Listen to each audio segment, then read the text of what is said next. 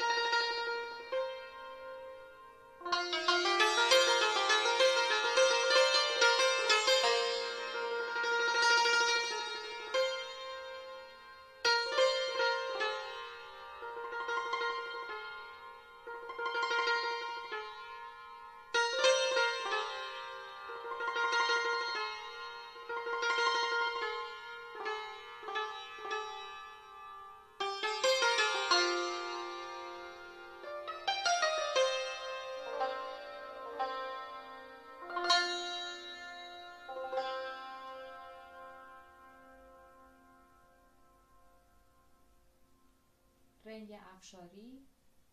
از کتاب ردیف ابتدایی استاد فرامرز پایور در ریتم 6 هشتم و شروع با آفتک